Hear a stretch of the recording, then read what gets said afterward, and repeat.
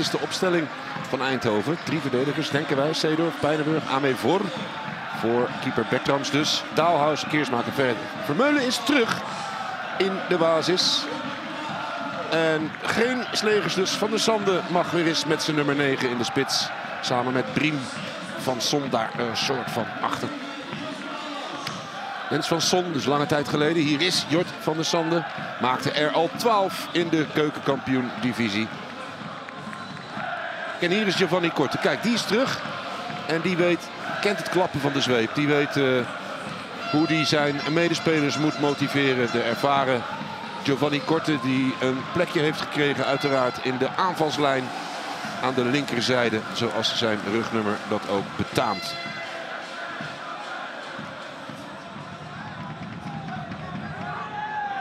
Van der Sande. Vermeulen nogal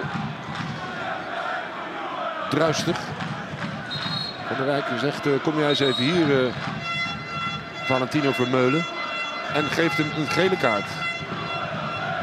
Dat is een snelle gele kaart. Zijn zesde alweer van het seizoen. Dit was echt keihard. Elke voetballer weet dat dit fout afloopt.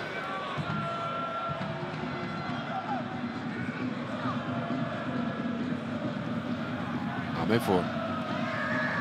Van der Sander. Bal alweer bij de Graafschap. Fortes. Giovanni Korte. Fortes. Voorgeven. Ach. Hendricks bijna. Goede aanval was dit van de Graafschap. En Eindhoven dat weer probeert snel te counteren. Daar is Briem. Van der Sande is mee. Maar Briem doet er erg lang over. Goede kans dus, ingeleid door Fortes. Korte doet mee. Fortes loopt keurig door. Bijna Sam Hendricks bereikt.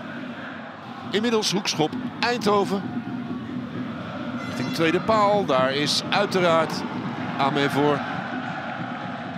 Na een kwartier spelen mag je toch zeggen dat de Graafschap hier Eindhoven redelijk in de tang houdt. Seedorf, gevaarlijk wat hij doet. Heel gevaarlijk, want hier is Hendricks. Hendricks naar buiten, Hendricks!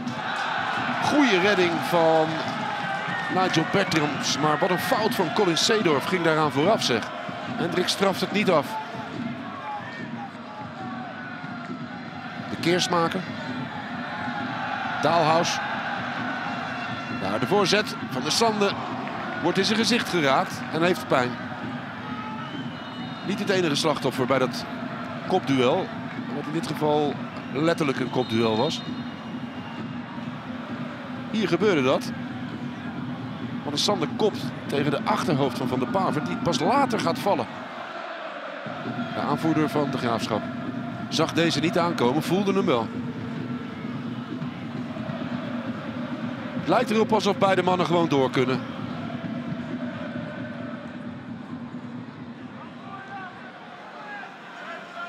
De keersmaker. Strakke bal.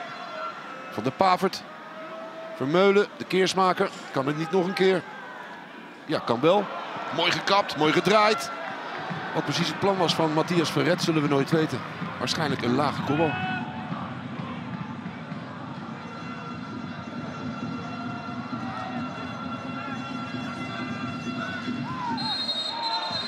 Overtreding op Korte.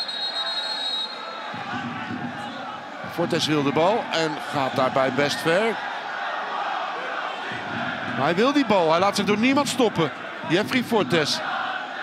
Ja, daar heeft hij hem. Jongen, jongen, jongen. Nou, nou, nou. Dat was iets te fel.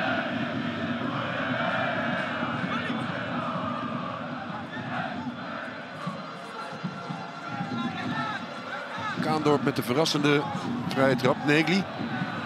Bal kan nog aangetikt worden door Hendricks. Bijna. Dat was een gevaarlijke, maar hij komt twee tenen tekort. Een van de sterkhouders moet het veld verlaten. Wat zonde voor de graafschap dit. Reken mij er niet op af dat hij toch wat wazig ziet. Of duizelig is. Baas is zijn vervanger.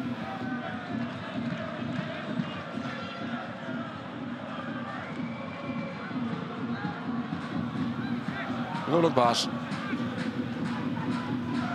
Dat uh, is een goede voortzetting van Negli. Negli kan zomaar door. Hoe kiezen en scoren. Camille Negli drukt het overwicht dat de Graafschap toch echt had. Zo in die eerste helft eindelijk uit tot een in de score. De 0-1 voorsprong staat voor de Graafschap. Schitterend zelf gelanceerd door Camille Negli. Hier één keer aanraken en daar gaat hij. Dan de hoek zoeken. Lastig zat en dan verslaat hij hem ook nog in de korte hoek. Hoe lekker wil je het hebben voor je eerste doelpunt dit seizoen. Als dit geen buitenspel is, de vlag blijft omlaag. Briem. Dit is dan toch een mogelijkheid en de vlag bleef omlaag.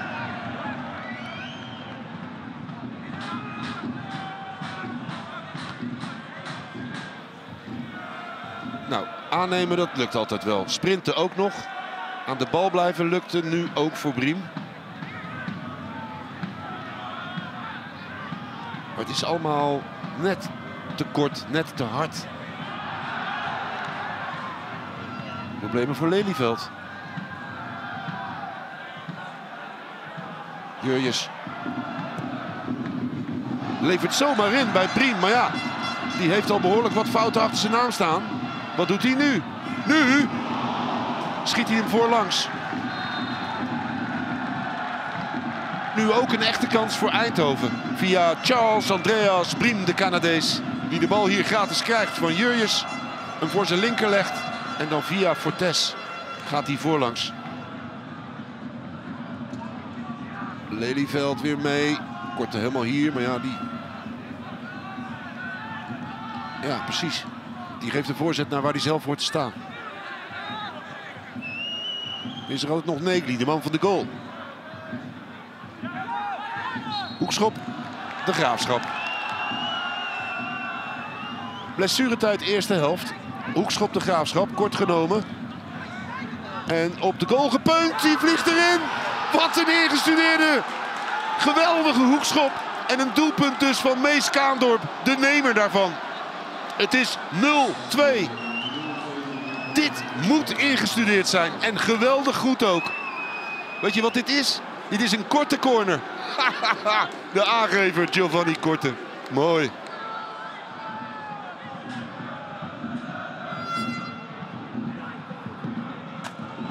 En dit is een bal op de lat van Van Heertem. Hier had het 0-3 kunnen en misschien wel moeten worden. Ineens werd het dan gevaarlijk door die uh, goede voorzet. Het doorkoppen en dan is daar ongedekt bij de tweede paal van Heertem zeg.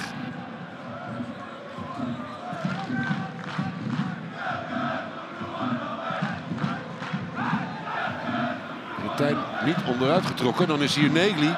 Die geeft keurig af. En dan is dit een koppende korte. Redelijk vrij. Weer een mogelijkheid voor de graafschap. Intussen van de Sande. En Verret. Tweede lijn met de... Nou, dit is dan toch een kans hoor. Voor de keersmaker. Weer niet op doel, dat niet. Maar het is in ieder geval weer een schot erbij. En dit keer was het redelijk dichtbij ook.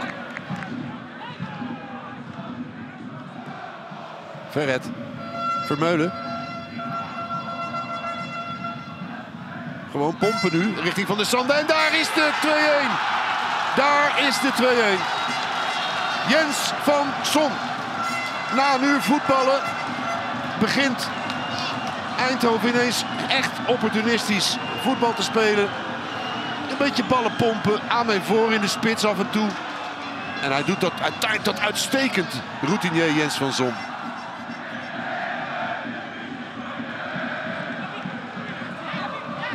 Ver overheen, maar het gaat naar Brim. Die kiest de goede route. Strakke bal van de Sander. Bijna 2-2. Ineens loopt het dan weer bij Eindhoven. Het is echt een mysterie waarom ineens.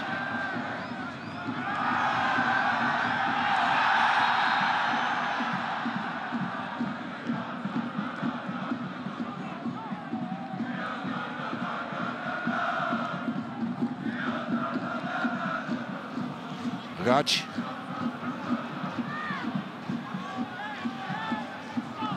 Brim, overtreding natuurlijk, ja. Oei, dit is een uh, goede plek zeg, voor Eindhoven.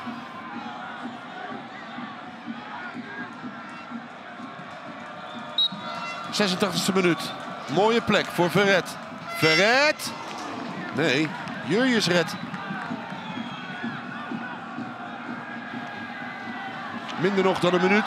En dan gaan we toch denken aan een overwinning voor Jan Vreeman. Zijn ploeg speelde een uitstekende eerste helft met veel drive, maar het ook veel kracht. Zo werd duidelijk in de tweede helft na een uur.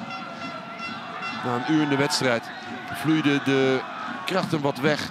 Kon Eindhoven eindelijk ook wat doen. Kwam het nog terug. Doelpunt van routinier Jens van Son. En nu vecht het voor de 2-2. Daar heeft het toch maar een paar seconden voor. Priem zou het kunnen doen. Nee, die mist volledig de richting. En dan ziet het er heel knullig uit. En dan vrees ik voor Penders en Eindhoven dat er werk aan de winkel is. En dat is er. Jan Vreeman wint zijn tweede wedstrijd als interim trainer van de Graafschap. Dat eindelijk weer eens wat te juichen heeft. Er wordt in Eindhoven gewonnen van een na-competitie-concurrent. En dat is een goede prestatie. Zeker gezien de staat waar de Graafschap zich de afgelopen weken in bevond.